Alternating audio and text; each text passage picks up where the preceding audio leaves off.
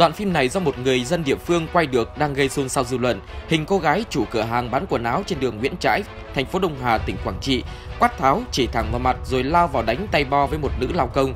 Sự việc xảy ra vào chiều 19 tháng 5 năm 2019 giữa nắng nóng 40 độ C. Những hình ảnh trong đoạn phim đã khiến nhiều người bất bình. Theo như những hình ảnh này thì cô gái chủ cửa hàng quần áo còn trẻ, tóc vàng, mặc quần đùi lao vào tấn công nữ lao công ngay giữa ngã ba đường Nguyễn Trãi và Cửa Tùng. Dù có người can ngăn nhưng cô gái vẫn hùng hổ chỉ thẳng vào mặt nữ lao công chửi bới, chụp lấy cây chổi của nữ lao công rồi đánh vào đầu cô này. Thậm chí lúc cao trào, cô còn cầm cả xúc rác lên ném vào cô lao công. Cô gái chủ cửa hàng quần áo này năm nay 26 tuổi. Trước phản ứng dữ dội của dư luận, cô gái này đã đăng một dòng trạng thái trên Facebook nhưng không giải thích nguyên nhân vụ việc.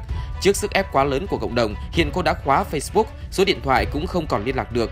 Trong khi đó, ông Lê Anh Khoa, đội phó đội môi trường 1 thuộc công ty cổ phần môi trường và đô thị thành phố Đông Hà cho biết, người lao công trong đoạn phim đang công tác tại đơn vị này đó là bà Dương Hoa, 47 tuổi. Bà Hoa cho biết, vào chiều ngày 19 tháng 5, phát hiện chủ cửa hàng ném rác bay tứ tung ra đường, bà đã nhắc nhở và giữa hai người xảy ra xích mích dẫn đến xô xát.